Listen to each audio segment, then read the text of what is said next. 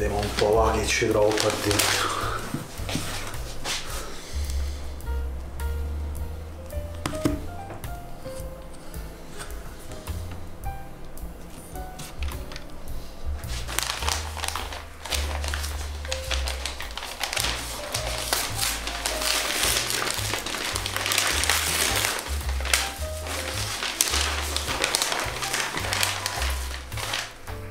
Ah, Sinister Ghost.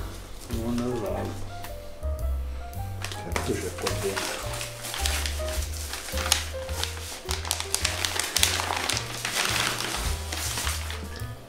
Porca puttana ladra!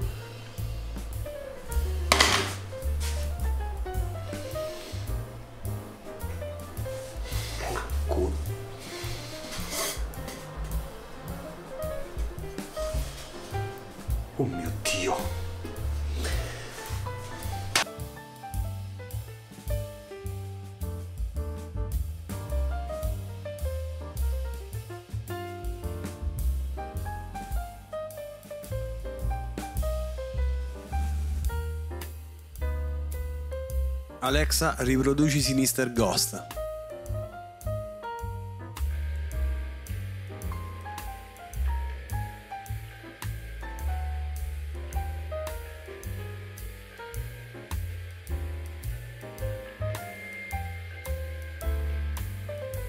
Sapete, mi sono reso conto, registrando questo video e scrivendo questa recensione, che è molto difficile parlare dei Sinister Ghost. Io sono comunque un grande appassionato di gothic metal, symphonic metal e andare a trovare album nella norma in questo genere è molto difficile. Ma adesso ne parliamo.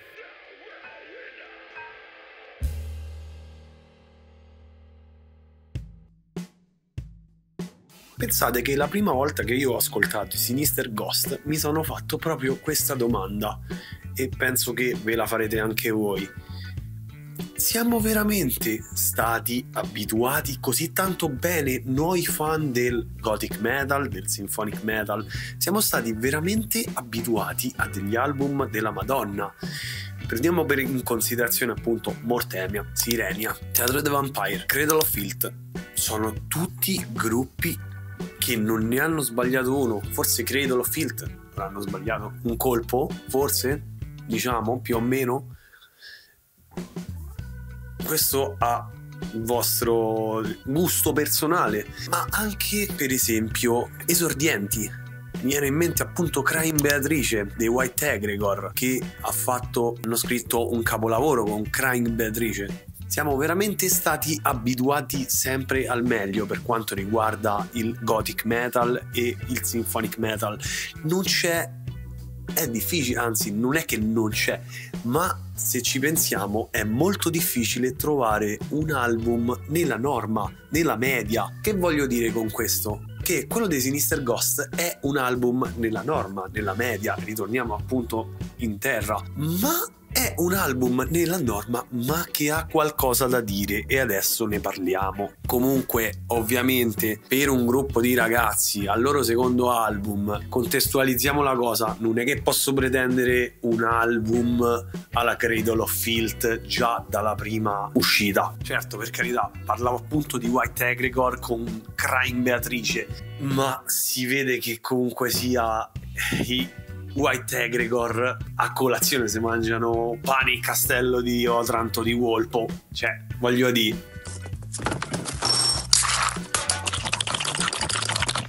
Comunque, allora, eccoci qui a parlare dei Sinister Ghost. Come dicevo, sì, è un album nella norma, ma per questo questo non vuol dire che non mi è piaciuto. All'inizio è stato un, uh, un, approccio molto strano, se così vogliamo dire, perché è un gothic metal diverso da quello che conosciamo, diverso dal gothic metal, gothic black, gothic metal, symphonic black che conosciamo. Ma a questo ci arriviamo, ne parlerò, ne parleremo strada facendo. Allora, piccolo preambolo, spero di farlo abbastanza veloce. In poche parole, in questo video sentirete spesso il fatto che mi interrogo se questo è un album o no gothic metal, ma solamente perché in passato ho avuto dei diverbi con alcune persone puriste del genere, quindi mi è rimasta ancora un po' di insicurezza sotto questo punto punto di vista per quanto riguarda il gothic e il symphonic metal, quindi tutto qui.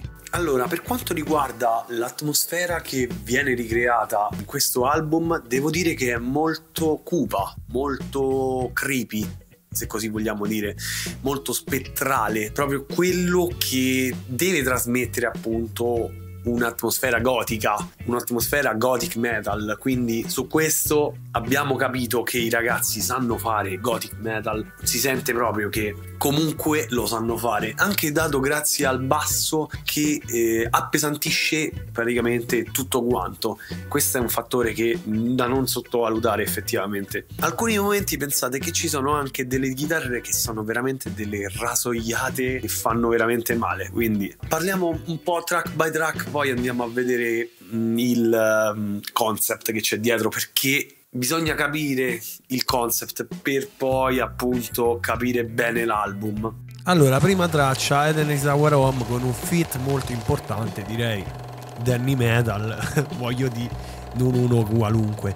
Tra l'altro voglio fare un complimento perché, regà, vi giuro, se non avessi visto il video non riuscivo a riconoscere la voce di Asmort e quella di Danny Metal per cui, regà, veramente Asmort sta a un livello di appunto di voce molto alto. Dalla seconda traccia riusciamo a sentire le tastiere che prima erano solo accennate, dalla seconda traccia cominciano ad essere più marcate, hanno molto più senso dalla seconda traccia in poi e soprattutto sentiamo veramente la bravura di Asmort perché io gli devo fare un plauso perché veramente è, ci va a sentire di cosa è capace ma soprattutto non è nemmeno facile avvicinarsi alla voce di Danny Filt perché cerca di ricrearlo al meglio possibile. Per quanto non è Danny Filt, comunque devo dire che è stato veramente bravo a ricreare quell'effetto molto filtiano. Complimenti veramente a Asmort perché sei in grande. Allora, arriviamo a parlare di House of Violin, che forse è la mia traccia preferita dell'album.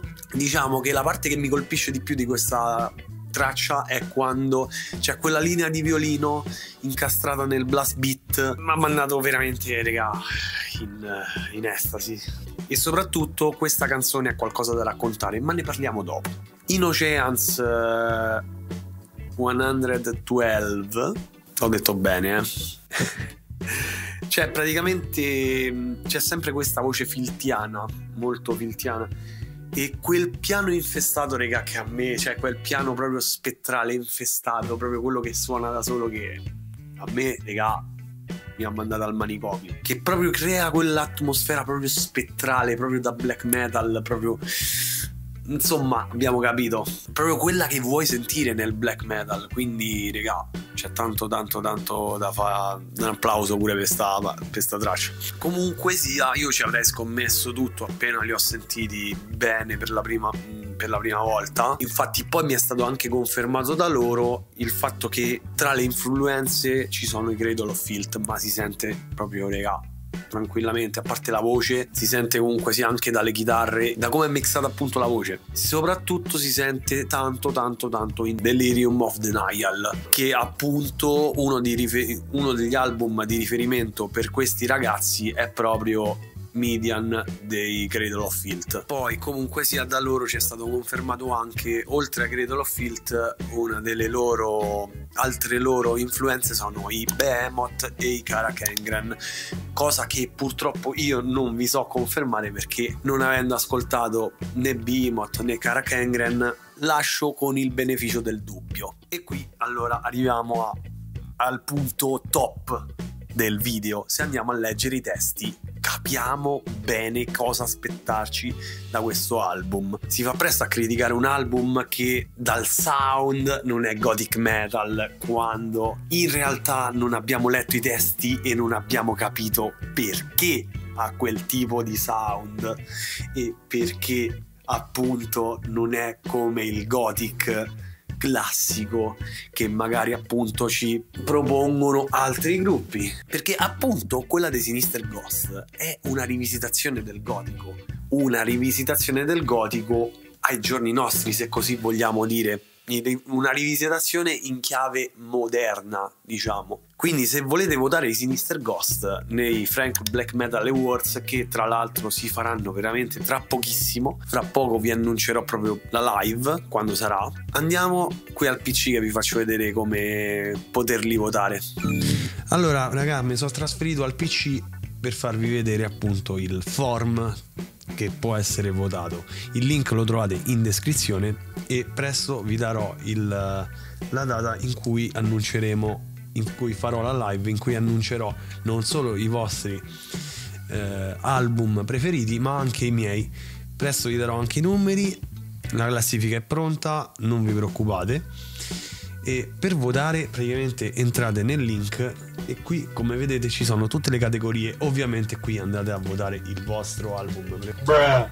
no per favore no votate il vostro album black metal classico preferito folk black black gaze post black black and death symphonic black tutti quanti alla fine arriverete anche al gothic black metal dove potete scrivere ed ecco qua, è molto semplice, non è niente di così clamoroso. Andate avanti e votate anche qui. Andate avanti e qui dovete votare per forza il vostro album preferito. Niente di più semplice. Allora, ritorniamo a noi e parliamo appunto delle tematiche trattate da questi ragazzi. Sono svariate tematiche, trattano appunto il paranormale, eh, storie di fantasmi, ma soprattutto la depressione e la mm, malattia mentale, se così vogliamo dire, intesa proprio come non tanto depressione quanto proprio la pazzia. Ha quindi senso in questo momento parlare di gothic metal, visto che le tematiche sono queste? È una domanda che mi sono fatto anche io, una domanda che mi sono fatto mentre ascoltavo l'album, mentre lo ascoltavo senza aver letto i testi.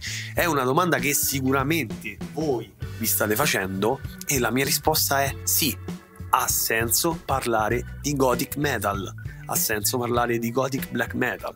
E adesso vi spiego anche il perché. Perché appunto, come dicevo, è un gothic metal in una chiave più moderna, in una chiave rivisitata. È il gotico al giorno d'oggi, quindi un po' come gli Alestorm che appunto ci propongono un tipo di pirateria, ma un tipo di pirateria un po' più moderna. Quindi sì, non me la sento di dire che questo non è Gothic Black. È Gothic, assolutamente sì. Ma andiamo avanti perché vi devo spiegare un po' di cose perché dovete capirlo bene quest'album prima di andare ad ascoltarlo. E appunto nell'album possiamo trovare la storia di serial killer come Innocence 112, 112, la storia di Adamo ed Eva, la storia di un violinista ossessionato dalla musica, proprio in House of Violin, talmente ossessionato che appunto impazzisce. E altre tematiche che purtroppo non posso raccontarvi perché se no mi demonetizzano il video, però andate a leggere per esempio Stolen at Birth che tra l'altro ve lo dice dal nome che cosa succede. Ma in tutto questo, allora, qual è il filo conduttore dell'album? Che cos'è che abbiamo fatto praticamente un mischione di cose, ma qual è il filo conduttore che lega tutte le canzoni dell'album? Proprio il, il filo conduttore è proprio il, il titolo dell'album What's Left of Human, che cosa è rimasto dell'umanità, perché ogni canzone appunto ci mh, fa ragionare su quanto poca umanità è rimasta appunto nell'uomo. E devo dire che ho i brividi solo a pensarci perché sinceramente non mi aspettavo una tematica del genere ed è una tematica che ho trovato fino ad ora solamente nei Flash God Apocalypse voglio dire stiamo a parlare veramente di un gruppone e l'ho trovata praticamente in una canzone che è contenuta appunto nell'album Veleno. La canzone di cui sto parlando è proprio Embrace the Oblivion, che appunto ci fa ragionare sulla. Mm,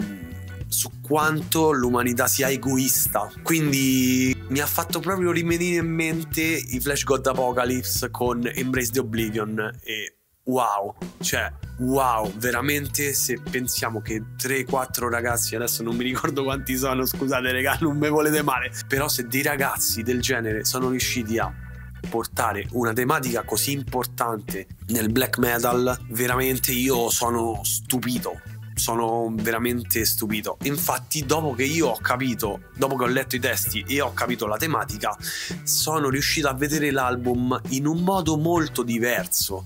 Perché è proprio dopo aver letto i testi che sono riuscito a comprendere appieno questo album e del perché appunto non è un normale album Gothic Black, ma è un album Gothic Black moderno, moderno, rivisitato, ma è sempre Gothic Black. Infine vorrei fare solamente una critica, una critica costruttiva, poi dipende sempre, questa è molto, dipende dal gusto personale e comunque sia da vari fattori, sia un fattore artistico che magari logistico, se così vogliamo dire. Mi sarebbe piaciuto ascoltare molto più una contrapposizione tra voce femminile e voce maschile appunto screamata, growl, cosa che comunque sia abbiamo sentito in una canzone che è proprio Stolen Birth, però avrei voluto sentirlo in più canzoni sinceramente. So che è molto difficile trovare una cantante una cantante appunto per fare gothic perché il gothic come sappiamo è un genere molto